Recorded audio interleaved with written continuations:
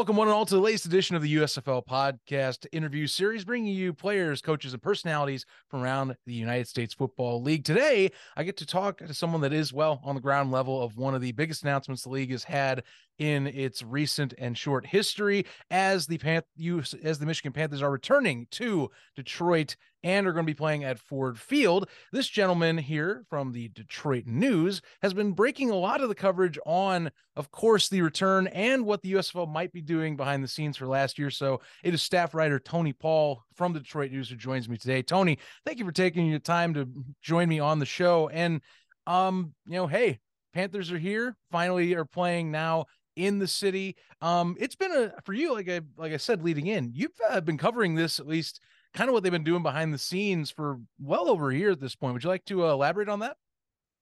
Yeah, I mean, I do a little bit of everything at the news, which uh, you know I don't specifically have a beat. Um, I've been a beat writer before, but uh, I don't have a specific one at the moment. So the joy and the uh, stress level with that kind of goes up in that um, it's fun that I get to do a lot of different stuff, but it's also stressful because everything that's not part of a major beat, like Lions, Tigers, Pistons, Wings, Michigan, Michigan State, ends up falling in my lap. So the USFL certainly would uh, qualify with that. I started covering them a little bit last year when they made the announcement and they went down to Birmingham.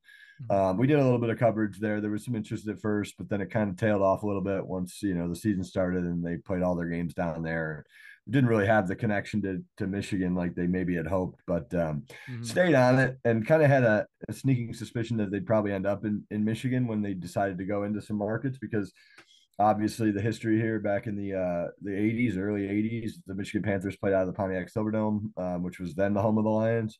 And very popular for uh, a couple seasons. Um, one game they drew over sixty thousand fans for a playoff game they obviously won the inaugural USFL championship back in the 80s. And there's a lot of people here that have a lot of fond memories.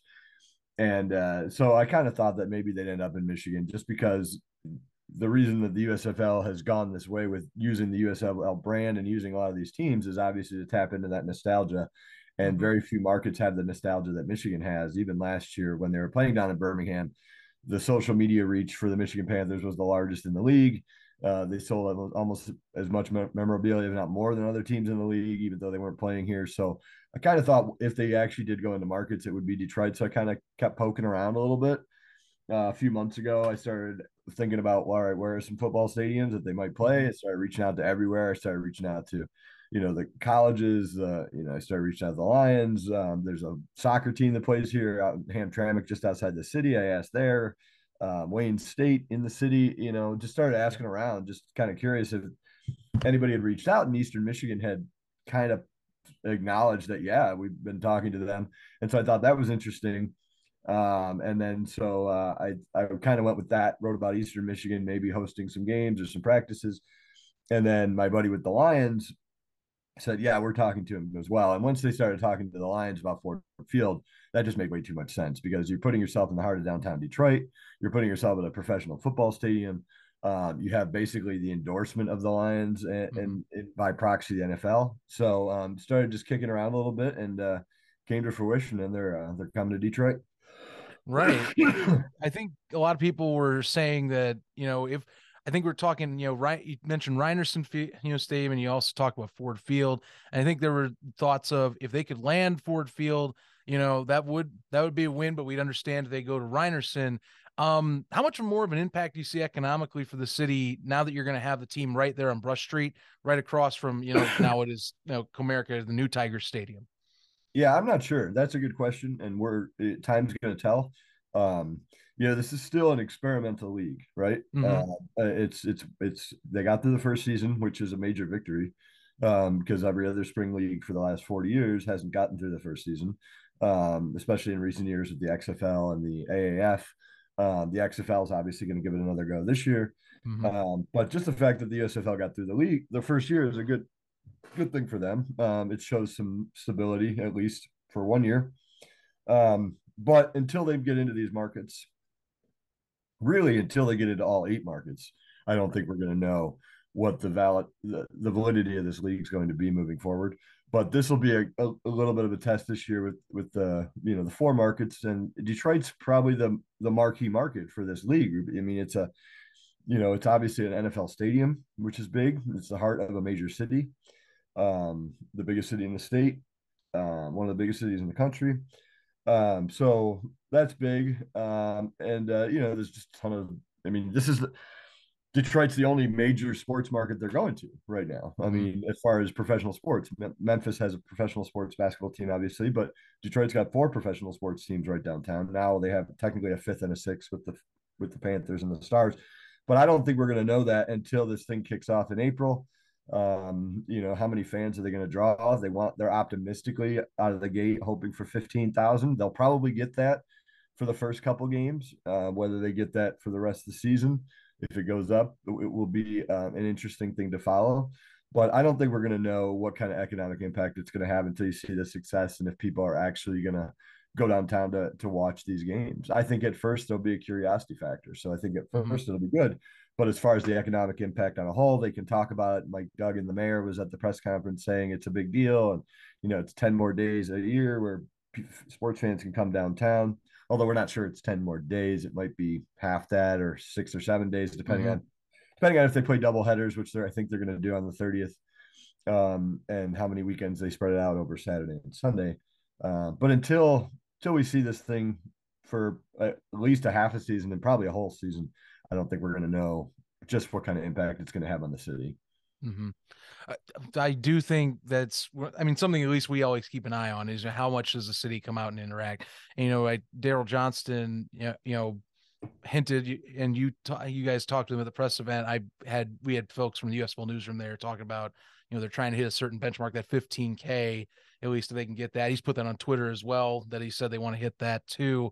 Um, and I think you know the interest is there, like you're talking merch wise as well. I think something also why they like Detroit and I love you speak on this, just you being being there as well. I have friends that I have friends and family that are from you know, from Novi, um, and so they talk about the comeback. So Birmingham, they did the similar deal, talking about its comeback. You know, highlighting a city that maybe has needed a new media light. Um, where is Detroit in, in terms of just a city today, in terms of that comeback trail? I think it's an over talked about narrative right now okay. um, because Detroit's realistically, Detroit's been downtown. Detroit's been back for a while. I mean, well before COVID. The downtown area is vibrant. Um, it's cool. Uh, a lot of people hang out downtown Detroit on the weekends. Obviously, COVID, you know, cut that off for a while, but people are coming back downtown. Um, you know, I mean, I I go to you know I go downtown a lot of times on Red Wings nights or Pistons, even Pistons nights, and I mean, there's just a lot of people downtown. mm-hmm.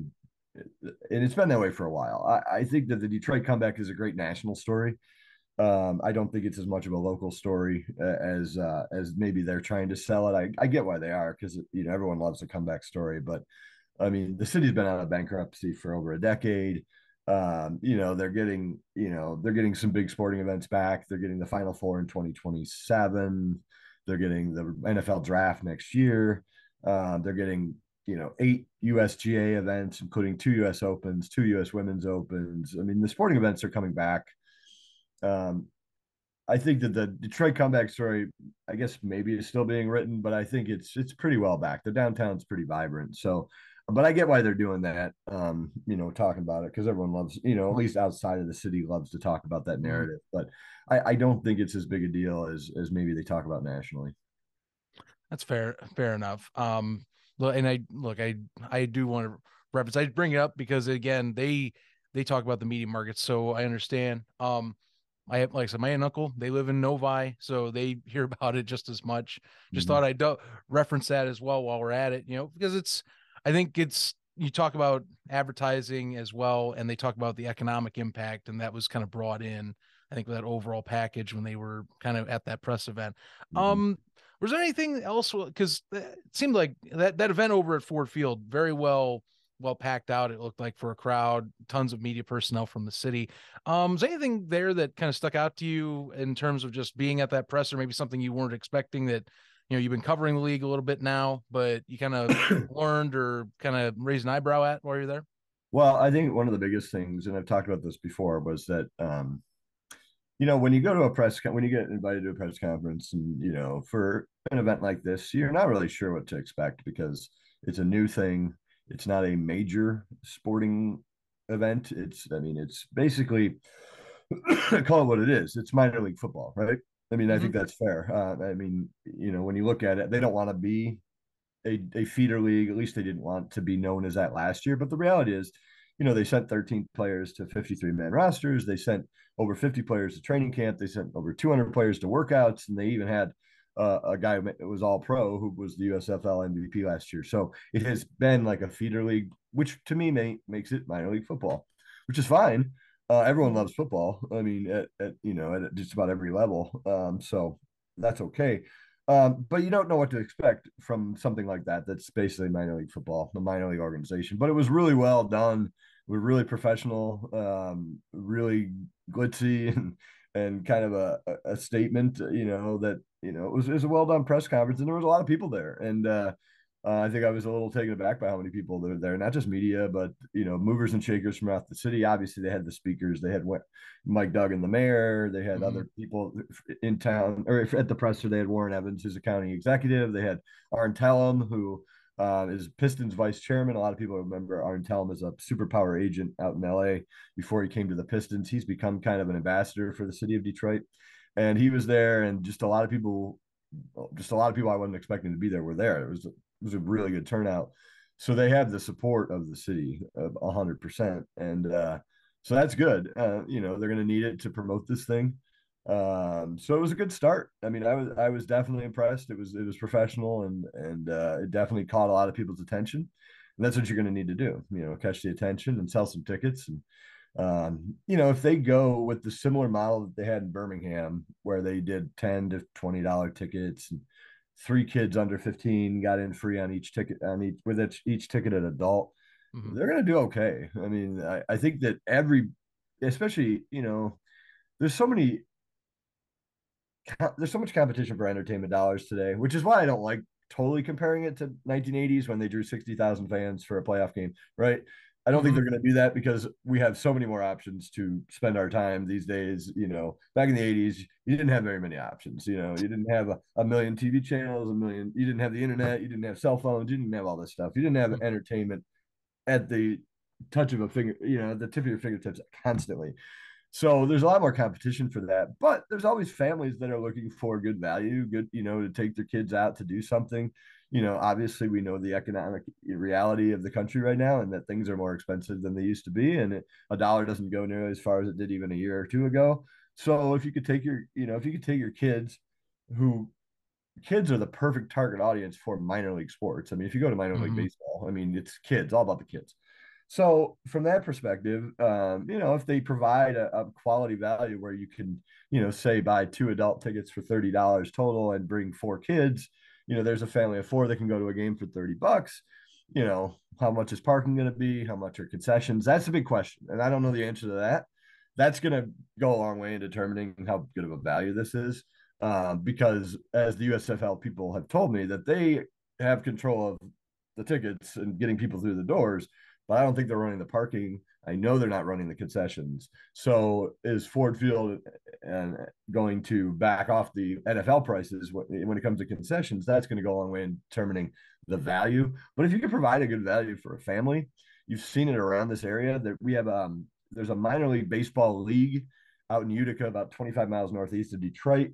Okay. Um, it started like five or six years ago. It's called the USPBL, and this guy basically decided I'm going to create my own minor league independent league and have four teams. Started with three, um, but and all of us in the media were like, "That's not going to work." I mean, you know, the Tigers are there. You know, that's just you know, right down the road. No one's going to go to that. It's been a wild success, right? Because it's cheap entertainment for families. I mean, they sell out. They play eighty some dates a year. They sell out more than half of them. Um, wow. It's a beautiful ballpark out there. They, they have four teams in the league. They all play there, and it's basically similar to the USFL in that it's a lot of kids that didn't get drafted or a lot of guys trying to make their one last shot and that league has sent players to major league organizations, more than three dozen. They sent a player to the major leagues, um, a really successful relief pitcher with the Minnesota Twins. Um, so that's kind of the model. And from that perspective, you know, we all laughed at that at first, but because it's such a good value, it's really been a huge success. If that was a success, I think that this could be as well, so long as whoever's running the Ford Field concession prices and parking prices can kind of back off the NFL prices and really truly embrace the family affordability. That's going to be the key in putting people in those seats. Well, I can certainly tell you, I'm I'm fast I'm fascinated and glad you brought up the attendance por- portion in terms of the concessions. Week one in Birmingham, I think the league learned a lot because uh, Birmingham, in terms of protective state, and they actually were understaffed for that opening game. So I am uh, I'm curious to see how they approach it. I I hope that they they take these notes, they use it for Detroit, and say, all right, let's over prepare, and then we can readjust them because week one they under or at least protective stadium underprepared and I'll tell you that was uh that was a fun time. Good time there, but it was a little hectic, you know, being like, oh, it's a free for all for seats. Really, that's what happened. Yeah, I would imagine, given the, the resources at the Ford Field Ford Field's disposal, they'll probably over prepare as far as staffing. But again, it's going to be very important what they charge for a beer and a hot dog yes. and a soda. And if they're going to try to if they're going to try to charge now, Ford Field for Lions games also as better has been more family friendly than say the Tigers. I mean, they're they're they haven't been like the Atlanta Falcons who had that great you know family affordability thing when they opened their stadium. Mm-hmm. Hasn't been quite like that, but it's been lower than than probably average. Um, but they're going to have to embrace the fact that they're not going to be able to, if they want more people in the stands, they're not going to be able to charge nine, ten dollars for a beer and you know six dollars for soda. If they if they can bring the prices down, and they you know people love football and also the you know the, this league has the advantage of the fact that the wings won't be playing the right. pistons won't be playing the tigers will be playing but they're not very good um, i'm sure i haven't seen the schedule yet we're waiting on that but i'm sure that they'll probably balance out the tigers and the usfl schedule. Um, and try not to do too much competing although that first weekend there will be and the tigers are playing right across the street that's true on the april 30th um, but I think there's a lot of uh, you know if they can if they can make this an affordable thing, there's a lot of things going right for it. Mm-hmm. Well, uh, Tony, I am looking forward to the season here. Like I mean, like I said, i have told people myself I'm going up to that opening game. Uh, should be thrilled to go up there. And but I've a Bears fan. I've gone to Ford Field one or two times. Uh, you know, win or loss, it's a solid venue, and you get it indoors in the right. spring. So yeah, that's a big deal. That's a big deal, and and that was a big deal also for the league because they can utilize Ford Field for later in the season um, yes. when it's a gazillion degrees down in, in Birmingham and, and, and Memphis and really hot down there. Uh, they can come up, which is why the Panthers are starting on the road for the first two weeks because they want to utilize the South as much as possible in the first couple weeks, the outdoor stadiums, and then utilize Ford Field as much as they can later in the season with the with the dome. Uh, but it's going to be interesting to see how this works. I, I think yeah. that there's there's some excitement for sure. I mean, we we see the numbers as far as people who are reading about this league there was some excitement last year, at least curiosity. I think another thing that's going to be important too is the draft, February 20, whatever. It's coming up, you know, mm-hmm. a few weeks. Um, the old USFL had a territorial draft, basically, in that they had a rule that, you know, for certain for a certain amount of players would have to be taken from local regions because that draws interest right? Right. That's how you got like Anthony Carter on the. That's how they. That's originally. how the Panthers got Anthony Carter, who was from U of M, and that was a huge, huge deal as far as drawing interest. Already talked to Daryl Johnston and I asked, "Are you going to put something like that in place?" And it doesn't sound like they're going to have anything official, but and when they draft, they are going to be paying attention to guys from Michigan, Michigan State, Central Michigan, Eastern Michigan, Western Michigan, even Ohio State. Um, they're going to be paying attention to that to try to get as many of those guys on this roster because that just adds to it. You got this league that it's not the NFL, but if you can bring in guys that people have heard of from their colleges who they followed, names like that, um, that'll help as well. I think they're going to definitely prioritize that uh, this year. And, uh, you know, and in little ways, they did that last year. I mean, that's why mm-hmm. the Panthers drafted Shea Patterson number one overall coming out of U of M uh, it created some interest at least early on with with Panth- with Detroit and Michigan, and so by proxy the Panthers. Again, that tailed off because eventually it became just like, all right, well the team's not very good. They don't play here. They're not really here, so it fell off, understandably. But if they draw, if they draft some local players that people have heard of this year, that'll help. Um, you know, mm-hmm. it'd be interesting. I wouldn't be surprised if they get at least ten thousand fans a game. Wouldn't surprise me at all. All right. Well, Tony, thank you for your time. I know you got to head out here. I appreciate appreciate you really. And um, hey, who knows? Maybe I run into you up there. Uh, I can't wait to get up up to, to Detroit. You know, get to check out some games in person this time. For home stadium atmosphere and all the like. Um, and keep keep doing what you do with the coverage, man. We appreciate it out there in the uh, alt football community. It's uh, really really means a lot. Yeah, Of course, appreciate having me on. I look forward to meeting you up in Detroit.